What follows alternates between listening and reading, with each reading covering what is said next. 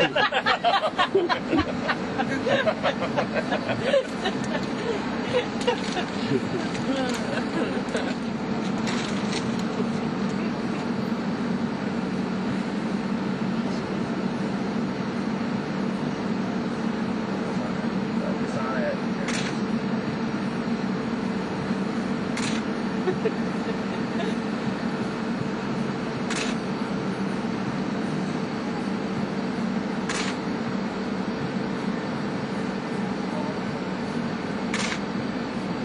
here on orbit, we also have a centrifuge.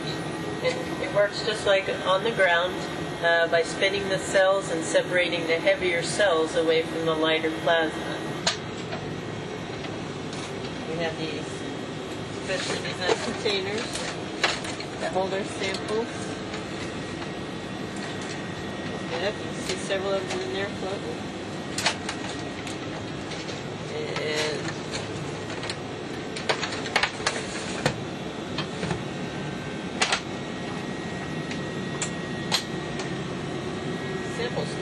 명.